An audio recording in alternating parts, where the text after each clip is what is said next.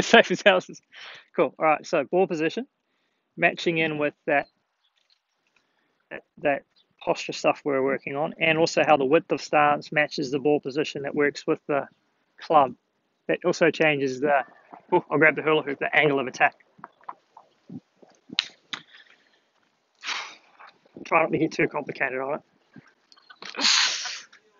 Keep it simple. All right. So wedge, for example, this is uh, a gappy, whether it be the sandy or the lobby, but in general, from that start position with your feet together, a good grip, face down the target line, all that basic stuff. Taking the stance there is going to just be that little step. So it's going to be inside that left heel comfortably, but it's not going to be a huge step with the right foot. It's just a little step. It's a short climb, so a short step. Body weight wise, you're still going to have that the sternum pointed, you know, towards the back of the golf ball and the weight a little bit forward.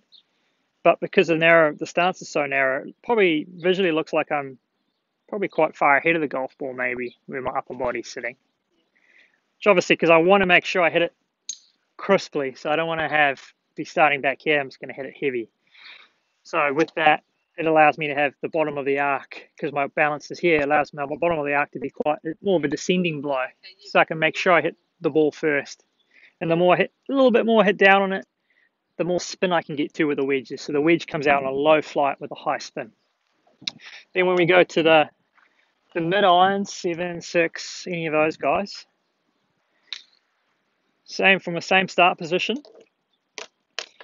Similar left foot, not massively different. Similar left foot to the wedge, all right, but just a slightly wider right foot than the wedges here. And even though my upper body stays in the same place, you can see that if I'm a wedge, as this goes, so does my head move back with it. So the head's a little further back than the wedge was as there. So that's kind of going to be your, mid-iron setup. So my center of mass now, instead of like with a wedge being almost ahead of the golf ball, this is more at the golf ball. So and as I do that, it means it's more neutral down the bottom. I'm not coming down too steeply on my on my irons, but I certainly don't want to be hitting up on my irons. It's the last thing I want to be doing. So instead of, so if that's the wedge, the seven iron's going to just be that little bit wider, the body's there. Then we get into the fairway woods and the driver. They're both a little different, but go for that yellow ball. So the big difference here is obviously the, the width. Body, upper body's pretty similar. Hands pretty similar. Still inside that left heel, pretty similar just that little bit wider there. So this is what your forward or five wood. So it's going to be forward, five wood, three wood. It's going to all be pretty similar. A little wider, weight still forward. So now my head, my center of mass is pretty much behind the golf ball.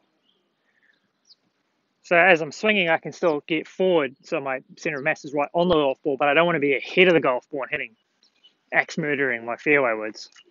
Certainly nowhere near as steep as a wedge. And then driver, obviously here I want to make sure that my I'm hitting up on it, right? So I have to make sure that swing center is going to be behind it.